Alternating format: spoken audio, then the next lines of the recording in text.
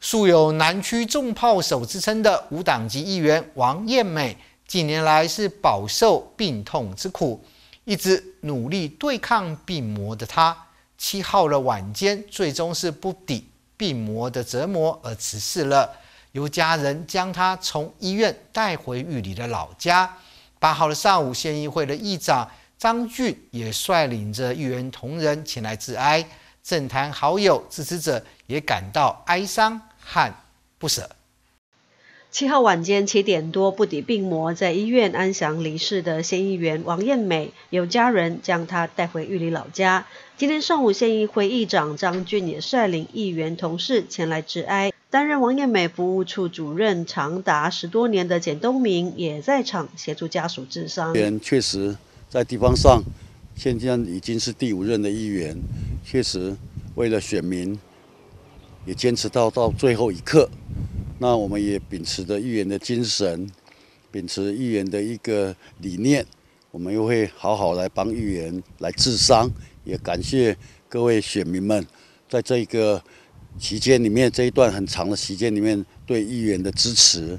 那在这边也要告知各位选民，那从此之后，议员也在这边跟各位告别。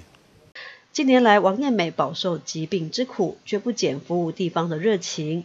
这任担任县议会农政小组总召的她，即便在医院接受化疗，对于南区各项农产产销情形及所面临的问题，仍心心念念。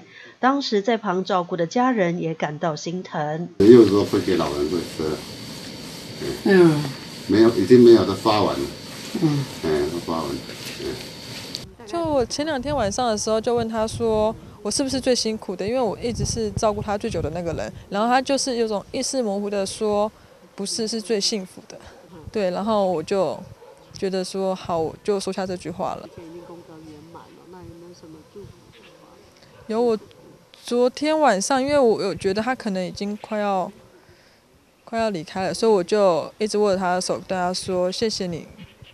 在这些年来教我的这些事情辛苦了，对他有跟我说好，我知道。无党籍的县议员王艳美立场偏绿，从政至今二十四年，敢言的大炮风格以及雄厚的民意基础，即便没有政党澳元，仍获得选民支持。今年三月，王艳美传出离癌后进出医院频繁，最近进行第六次化疗，病情却直转直下。